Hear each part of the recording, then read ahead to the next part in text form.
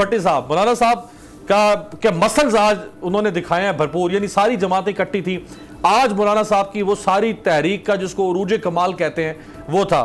کتنا بڑا شو کیا مولانا صاحب نے؟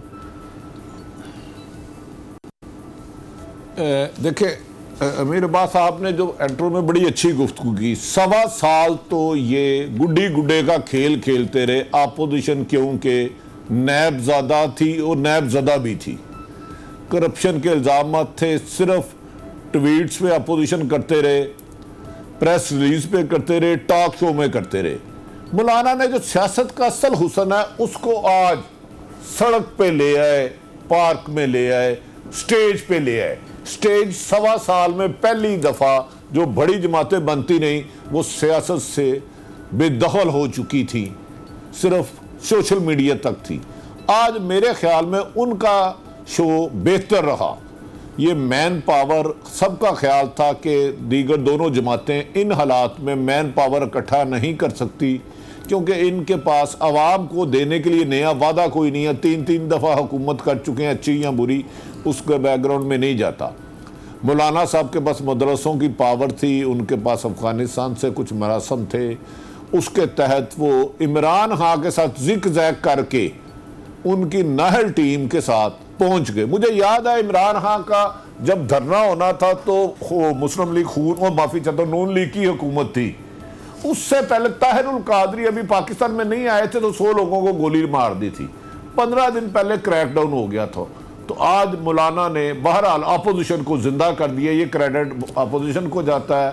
تارڑ صاحب زیادہ بہتر بتائیں گے۔ پہلی ابتدائی اطلاعات تھی کہ محترم شباز شریف صاحب کسی قیمت پر اسلام آباد کے جلسے میں نہیں جائیں گے۔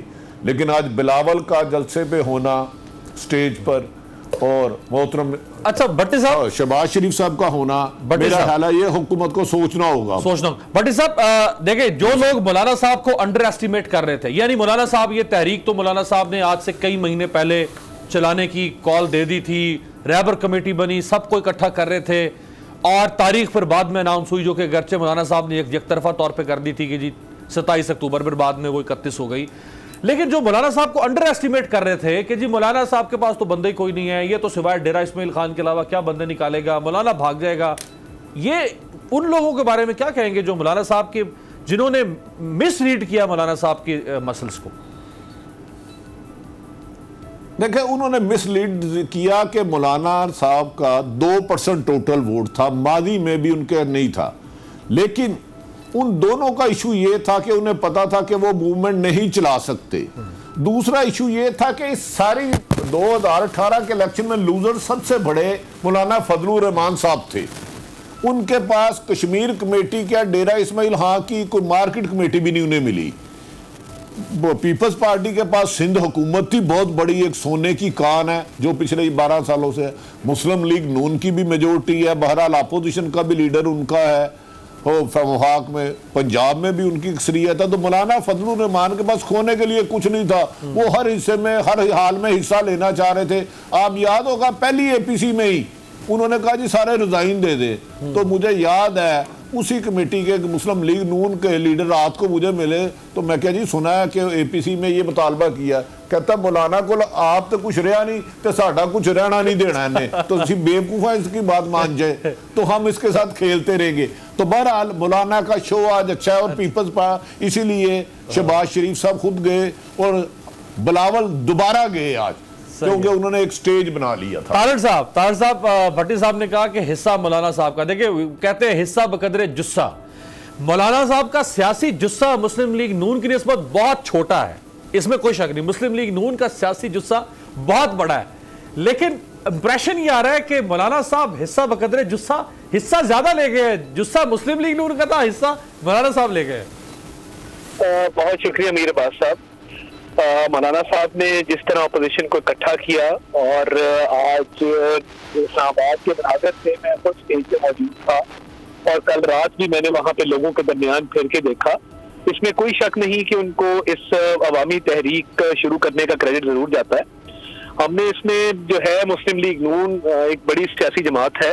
ہم نے اپنے تمام تر ممبران وہ چاہے کے پی کے سے ہوں، وہ چاہے بلوچستان سے ہوں، وہ چاہے سندھ سے ہوں ہمارے قافلے پورے ملک سے آئے اور ہمارے باقاعدہ جو نیشنل اسمبلی کے ممبرز ہیں پروونشل اسمبلی کے ممبرز ہیں ٹکٹ ہولڈرز ہیں، ان کی باقاعدہ موومنٹ کو مانیٹر کرنے کے لیے ایک کنٹرول روم بھی قائم کیا گیا تھا، جس کو میں خود بھی مانیٹر کر رہا تھا۔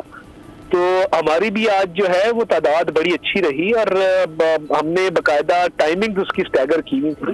تو ہمارے قافلوں نے بھی اس میں شرکت کی بٹ اس میں کوئی شک نہیں کہ اس کو لیڈ کرنے کا اس کو آرگنائز کرنے کا کامیابی جو پوسٹر بوائے یعنی پوسٹر بوائے اس پوری یعنی اپوزیشن جوائنٹ اپوزیشن کا یہ شو تھا جس میں ریبر کمیٹی میں سارے نو لوگ آپ کے شامل تھے لیکن جو پوسٹر بوائے ہیں وہ مولانا صاحب بنے ہیں۔ جی اس میں کوئی شک نہیں ہے۔ جی میں وہی عرض کر رہا ہوں کہ ان کو اس کا کریڈٹ جاتا ہے۔ انہوں نے جو ہے وہ بہت ہی محنت کے ساتھ لگن کے ساتھ اور یہ انہوں نے تحریک آج کی شروع نہیں کی۔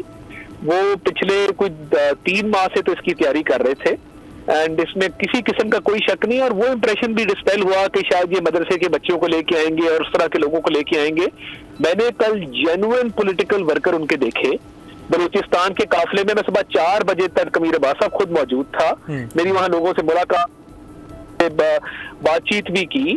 تو وہ امپریشن بھی جو تھا ایک ریلیجس کارڈ کے استعمال کا اور مدرسے کے لوگوں کے کو لانے کا وہ بھی بہت حد تک ڈسپیل ہوا ہے اور گراؤنڈ لیول کا سیاسی ورکر جو ہے وہ اس میں شریک رہا ہے اور یہ پولیٹیکلی بہت اویئر لوگ ہیں۔ ان سے آپ بات چیت کر کے دیکھیں تو ان کو معیشت سے لے کے تو سیاسی حالات تک ہر چیز پر مکمل آگاہی جو ہے وہ ہوتی ہے جی۔ رائٹ سبسکرائب کریں اور بیل دبائیں تاکہ کوئی خبر رہ نہ جائے۔